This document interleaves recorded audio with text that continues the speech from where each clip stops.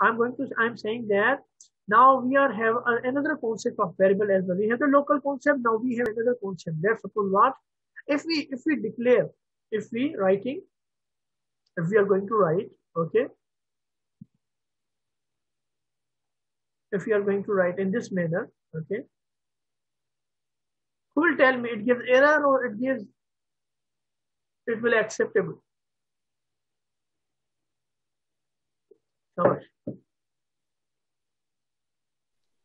Sir, error. Error. Okay. Will say error. Anyone else? Anybody else? Sir error नहीं आएगा error नहीं आएगा Atiq error नहीं आएगा ओके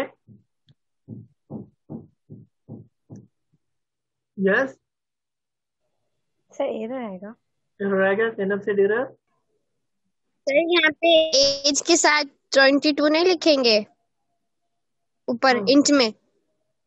यहाँ तो मैंने डिक्लेयर करवाया है ना। यहाँ मैंने डिक्लेयर करवाया लास्ट टाइम मैंने यहीं पे अच्छा। तो यहाँ मैंने इसको इनिशलाइज करवाया। हाँ। तो मैं सर। एरर आएगा नहीं आएगा सर एरर इसलिए आएगा क्योंकि जो इसमें इनिशियलाइज किया ना सर ब्रैकेट से बाहर।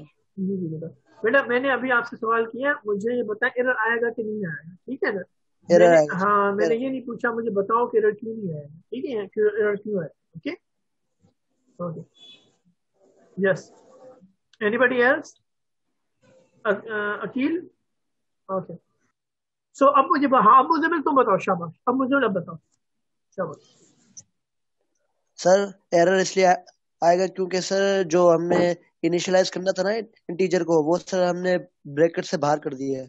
अब ये जो जो लोकल वेरिएबल होगा, ये कहेगा कि भाई, अगर ये हमारी रेंज से बाहर कर दिया इसके अंदर हमें इनिशियलाइज किया हुआ ही नहीं है तो इसी वजह से एरर देगा ये। ओके जैनब जैनब बताएँ सिस्टर आप बताएँ ये क्यों एरर देगा शाबाश? हाँ सर एरर इसलिए देगा क्योंकि यहाँ पे हमने एज को मतलब वेरिएबल को डिक्लेयर कर दिया लेकिन उसको हमने कोई वैल्यू असाइन नहीं की। ओके ओके तो एक तो ये खाली प्रिंट कर देगा इसके पास कोई वैल्यू नहीं है एज के पास। चलिए अब अब बताइए। तो हमने एज फायर कर दिए।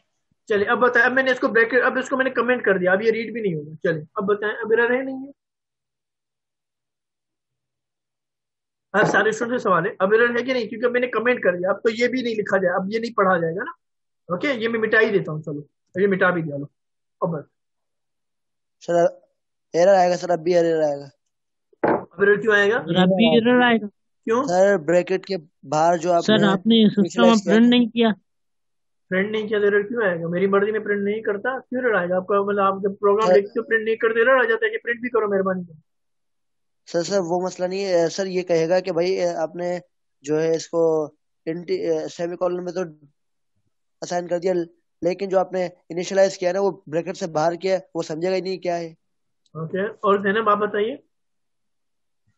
सर ये मतलब ब्रैकेट से पहले आएगा ना तो शायद रन हो पे प्रोग्राम ओके ठीक है आप ने बोला कि ब्रैकेट से पहले ओके एनीबॉडी एल्स जैनब इसको और जो है हमारे पास आती ही जॉब है okay sir may be error ना आए मे बी रन हो जाए। ओके ओके चलिए इसको देखते हैं कि ये एरर क्यों आएगा या नहीं आएगा ठीक है? Okay I am going from मैं शुरू से जाता हूँ ठीक है? मैंने कहा कि जब मैंने जब हमने कहा कि भाई हमने यहाँ पर डिक्लेयर कर दिया इनिशलाइज कर दिया ठीक है? यहाँ पर मैंने ए को बोल दिया कि तुम ज़ीरो की वैल्यू आपके पास स्टोर होनी चाहिए तो एज के पास क्या होगा ज़ीरो होगा ठीक है? हमने कहा, ये भाई प्रिंट कर दो। तो कंपाइलर आएगा, बोलेगा, मैं प्रिंट कर दूँगा। ठीक है? कोई इसको तकलीफ़ नहीं होगी प्रिंट करने में। ओके? ऐसा ही होगा? ओके। ओके, ये तो यहाँ तक तो सही हो जाए उसके बाद मैंने कहा, मैंने दोबारा क्या किया? मैंने दोबारा जो है, वो दोबारा जाके मैंने ये मुझे बार बार कॉपी करना पड़ेगा। हाँ। दोबारा जो है, मुझे, मैंने एसओपी लिखा। मगर अब एसओपी जो है ना, मैंने इस ब्लॉक के अंदर नहीं लिखा, मैंने बाहर लिख दिया। बाहर लिखा तो मैंने कहा जब ये आएगा तो मैंने आपसे कहा कि ये क्या देगा? एरर देगा मैंने आपसे वर्ड कहा एरर देगा। एरर क्यों देगा भाई? क्यों देगा एरर कौन बताएगा मुझे? मैंने क्यों कहा था एरर देगा? शाबाश। सर क्योंकि वो एज को अंडरस्टैंड कर रहा ना कि एज वेरिएबल है ही नहीं। ब्लॉक हाँ, के बाहर है। वो बोलेगा ये ब्लॉक के बाहर है मैं इसको नहीं अंडरस्टैंड कर सकता। ये क्या लिखा है तुम्हें? तो मैंने मेरा सवाल यही था अभी भी यही था जो मैंने अभी आपको बोला कि जब हम ये लिख रहे हैं तो यहाँ पर इंटेज तो लिखा? ये नहीं बोलेगा कि ये एज क्या लिखा है? ये नहीं बोलेगा यहाँ पर। ये बोलेगा ठीक है बाईस कर दो उसके अंदर। ये बोलेगा ना भाई एज क्या लिखा है? मैं क्यों समझू एज को? एज को तो वो जानता ही नहीं ये बोलेगा ये एज क्या है? बात समझ में आ रही है? क्योंकि भाई इस ब्लॉक के अंदर ही इस ब्लॉक के अंदर ही उसकी डेफिनेशन है। बाहर लिखोगे तो बोलेगा ये एज क्या है? ठीक है? यहाँ तो इसको इंट कर दो। ठीक है? यहाँ तो उसको इंट कर दो। ये एज क्या है? वो नहीं समझेगा। बात समझ में आ रही है? सर फिर एरर आएगा ना मतलब इसका मतलब ये है ना। अब मगर मैंने पूछा एरर कौन सा आएगा ठीक है ना? मैंने आपको कहा था ये कि ऊपर आएगा ये। हाँ मतलब ये अंडरस्टैंड नहीं कर पाएगा ऊपर तो आएगा मगर ऊपर हम अगर डिक्लेयर नहीं भी करते ये एरर ये आएगा कि आपने ये एज क्या लिखा है? एज इसको नहीं समझ में आएगा ठीक है ना? आप बोले ऐसे भी लिख देंगे। मैंने एसओपी के अंदर लिखा मैंने मकसद कहने का था कि अगर हम यहाँ पर डिफाइन नहीं करते, यहाँ से हमने क्या कर दिया डिक्लेयर कर दिया यहाँ आके डिफाइन कर दिया, तब भी एरर ये आ रहा है कि एज क्या है? ये ये नहीं कहेगा कि डिफाइन ऊपर करो, ये बोलेगा कि एज क्यों लिखा है एज क्या है एज की डिफाइन करो, मुझे समझ नहीं आ रहा। तो एज को डिफाइन करना पड़ जाएगा। हालाँकि आप कहोगे डिफाइन तो मैंने कर दिया डिक्लेयर तो मैंने कर दिया, यहाँ पर तो मैंने वैल्यू दे दी। पर बोलेगा नहीं, इसकी जो अहमियत है वो इसी ब्लॉक के अंदर है।